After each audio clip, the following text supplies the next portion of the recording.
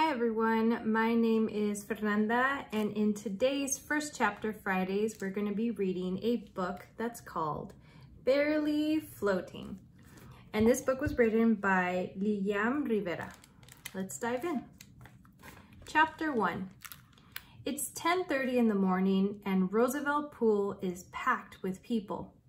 Big kids, skinny kids, babies shrieking because of the cold water, while their mommies try soothing them with sweet baby talk.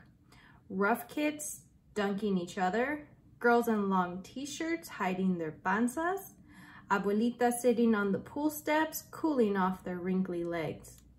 Then there's me. I'm at the far end of the pool, the deep end. That's where the real action is. I'm about to take Beto down. He doesn't know this, of course. Just look at his clueless face staring out at nothing. Beto is all cheeks, like a chipmunk storing food, or like Kiko from El Chavo. I'm about to deflate those cachetes with pure muscle. What does El Chavo always say? Beto doesn't count on my astucias. Hey, Beto, I bet you 10 bucks you can't beat me in a race across the length of the pool. My voice is loud enough so that everyone can hear. So Beto turns to his group of friends and shakes his head. Dude, your sister, he says to Ramon. He laughs off my challenge. That's not playing, Ramon says. She means business. There are three boys in my family. Ramon is the youngest, Julio, the oldest, is married with a kid on the way, and Raimundo is attending college in Santa Barbara. Ramon is in high school and so is his ugly friend Beto. Beto is on the water polo team. I'm not on any team. I'm just here to make money. Ten bucks says he can't beat me. I lean back against the pool deck, those around me chuckle or shake their heads. Why can't you just chill for once? Sheila says. Sheila is my cousin. Technically, Sheila and Ramon are supposed to be taking care of me. Taking care. However, is forever in air quotes. It's hard to contain a person like me, especially when that person grew up in a house full of skinny, loud boys. Sheila doesn't get it. She's an only child who loves clothes and Fenty lipstick. Me and you swimming across the pool. I repeat, you know how to swim, right? Last week, I made even 20 bucks out swimming twins. The twins were running their mouths about how there was no way a gorda could swim the full length of a pool.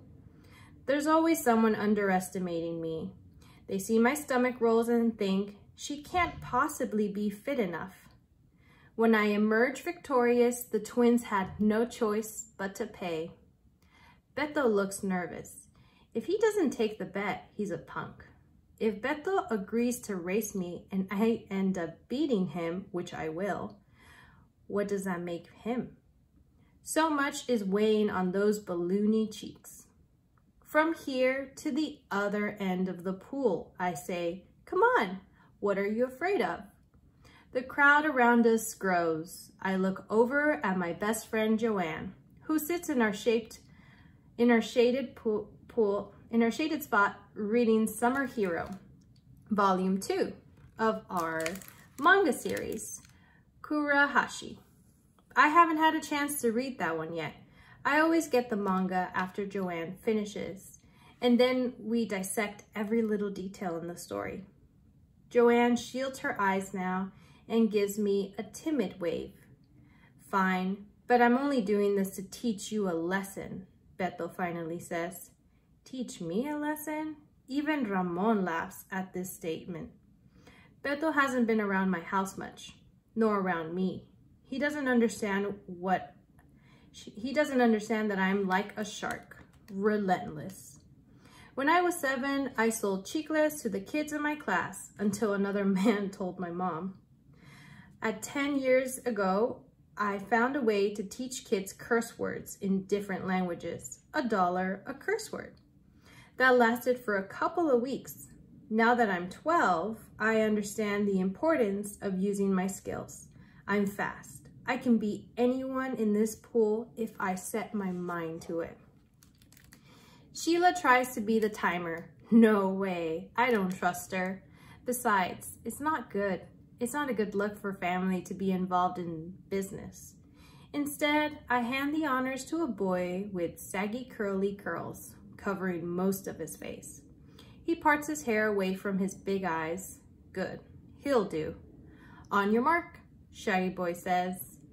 Kids slap my shoulders, girls giggle. Some of them think I'm cool to do this.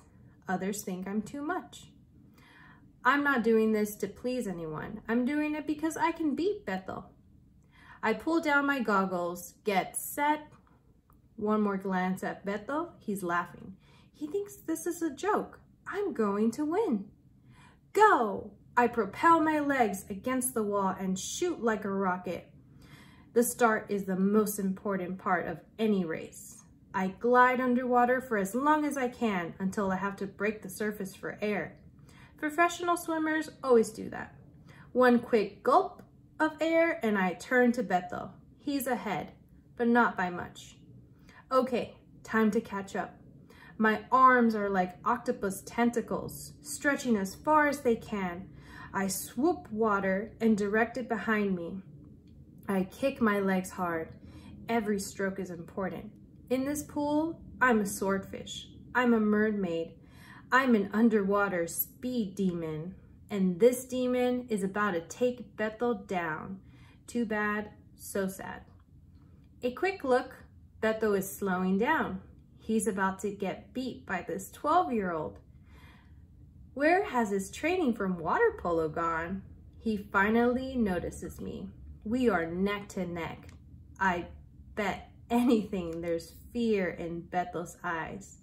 I dig deep and find the last burst of energy to seal this deal and boom! I tap the end of the pool. Beto pulls in seconds later.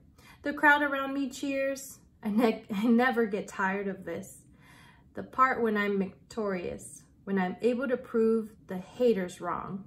Never underestimate the power of a Latina. That's what my mom always says. Dudes are always trying. Poor Beto. He's breathless, practically hyperventilating. I won. I jump out of the water and point to my empty palm. Pay me. No way, Beto says, pushing my hand away. He's barely able to form words. I'm not paying you. Pay me. I beat you. I don't like where this is going. If you lose, you have to be a good sport. Besides, this is business. Everyone here is my witness. I beat you fair and square. Beto tries to brush me off. The crowd eggs him on. They call him weak. How could you let a kid beat you? You let a girl win. I don't care if he's in his feelings right now. I won without any tricks. It was just me in the water. You owe me 10 bucks, I say. Give me my money. Beto and my brother walk over to where Sheila and her friends hang out. They try to ignore me. I will not let up. Beto can't negate on this deal. I'm not leaving until I get my payment. I stand in the middle of their group, right on some girls' towels. I'm a terrorist, and we're known for our willingness to get into people's faces. I will not move from this spot until Beto places some crisp bills on my hand. The girls complain about me standing on their towel. Beto pleads me to my brother. That's enough, Nat, Ramon says. Now even my own blood is willing to back me up. Honestly, what's the point of having brothers when they won't stand up for what's right? Go play with your friends, he says. No, I say. If Ramon won't help me, then I'll have to get ugly. I jump on Beto. You owe me. Beto doesn't know what to do. He knows well enough not to hit me, but he also doesn't want his eye scratched out. So there's a whole lot of awkward wrestling going on. Give me my money, I yell. Beto is obviously stronger, but like I said, I'm a shark. I won't stop. You have an interesting sister, I overhear a girl say to Ramon. I peel myself off Beto and turn to face the girl. Well, you have an interesting face, I yell. If she wants in on this, I will gladly include her. Before I can jump on her, my brother pushes me away from the group. Go away, Nat. Ramon has mom's face. The serious, not in the mood for this face. I head to Joanne, who places an arm around my shoulder. I can't believe it, I say. I'm so angry. You can't win them all, Joanne says. She tries her best to protect her manga from getting wet. Of course I can, I say. Mom says if I work hard enough, I can do and be whatever I want. Beating Beto was just a tiny part of today's goals. Besides, if I don't get paid, then everyone else will think they can do the same. Know what I mean? Joanne gives a slight nod. Sure, but there will be other chances to make money, she says. I love Joanne, but honestly, I wish she could see the things from my point of view. Joanne doesn't like confrontation, which is funny because confrontation is basically how we met. It was in first grade at Sagrado Corazon Elementary School. A sweaty boy in our class kept pulling Joanne's hair. The teacher did nothing. Instead, Miss Castro said this weird thing to Joanne. He probably likes you. I couldn't stop thinking how mom says, your body, your permission. So when the boy decided to touch Joanne's hair, I grabbed his hair and wouldn't let go. Mom was. Mom was called in. The incident brought a quick end to my Catholic school days. It was worth it. Joanne eventually ended up in the same middle school as me, and we've been best friends ever since. I'm always ready to defend us no matter what. While Joanne would rather hide behind a book and wait things out, somehow the relationship works.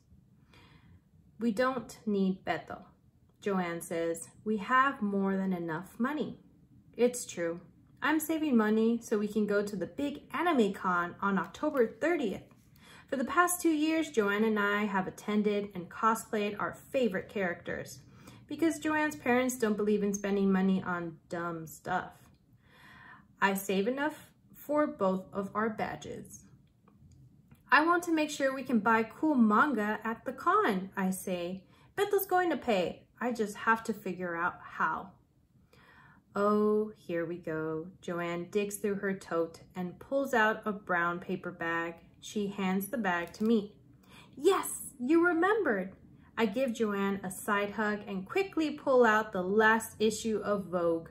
Although my fingers are dry, I still wipe them off at the towel, just in case. Manga is really Joanne's scene. I just like the cosplay because I get to wear awesome costumes and makeup, which mom only allows for con.